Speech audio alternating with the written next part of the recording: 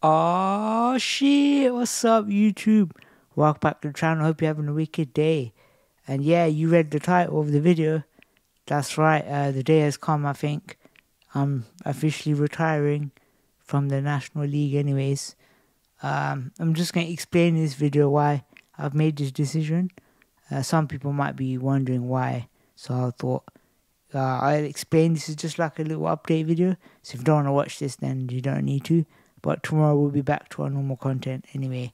So I just thought I'd explain my thoughts, man.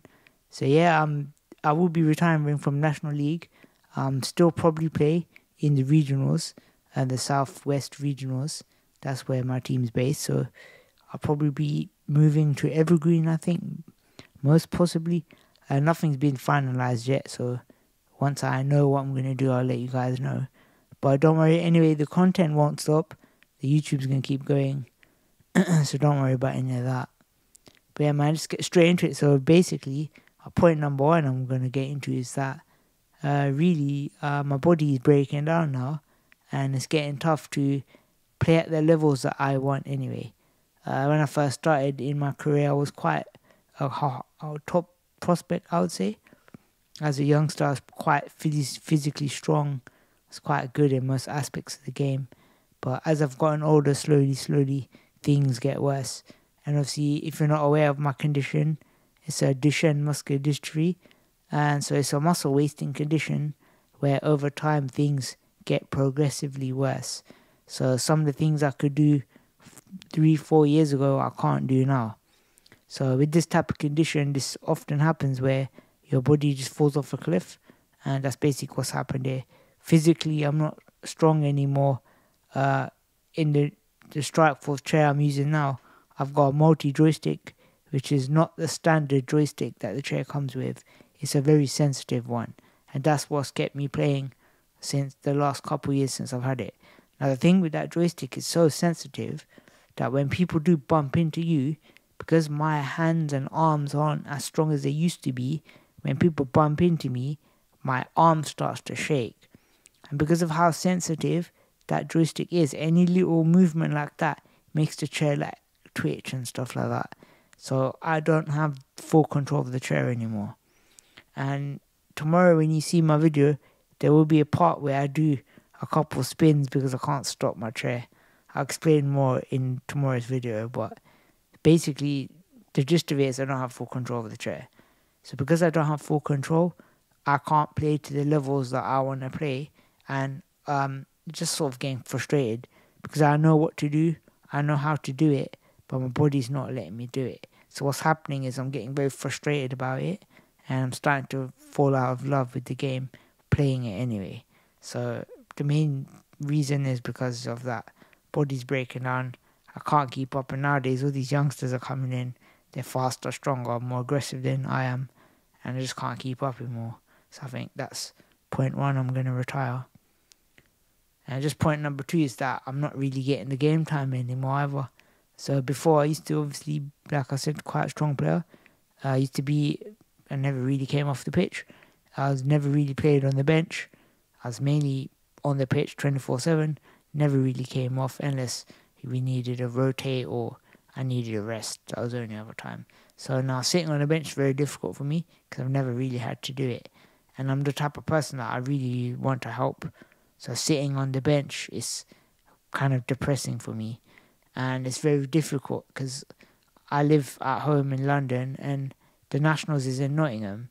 Now, what most players do is they find during the national weekends they find a hotel near the venue and they sort of sleep there overnight.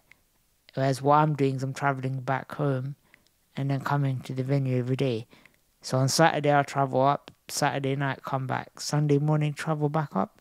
Sunday morning, come back down. So it's about two hour drive each way. So it's a lot of time in the car. So I need to think about that as well.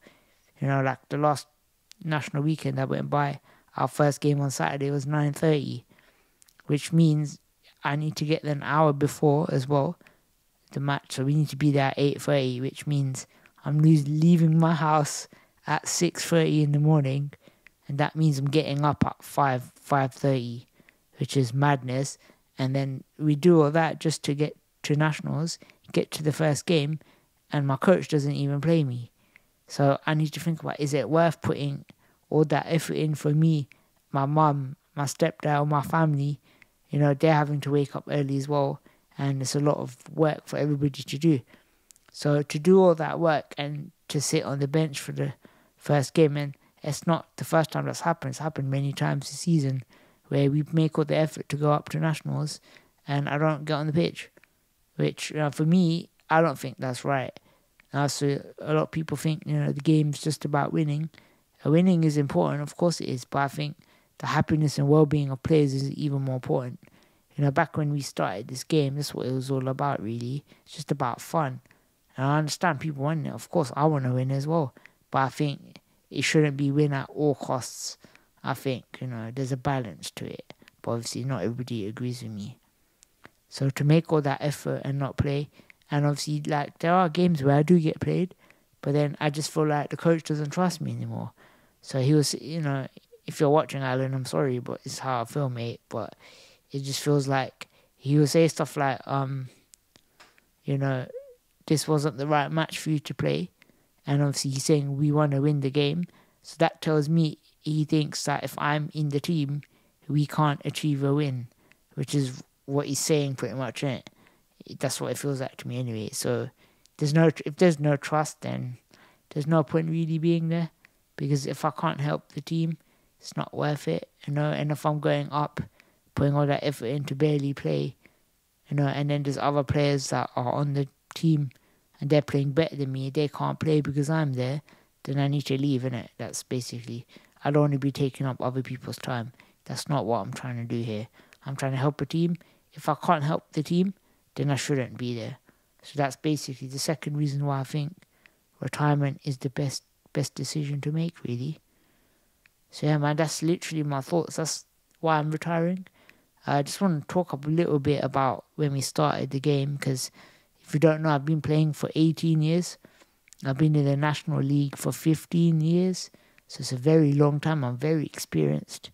And back when we started, we used to go to Kettering instead of Nottingham. And back in the day, the National League, we had three divisions, not two. Now we have two. Back in the day, we had three, and it's quite difficult. So when I first started, we started in the bottom division, and it was a great time, really. And then after then, so we used to use storms, storm chairs back in the day. They were basically day chairs that were just tuned up to play powerchair football in.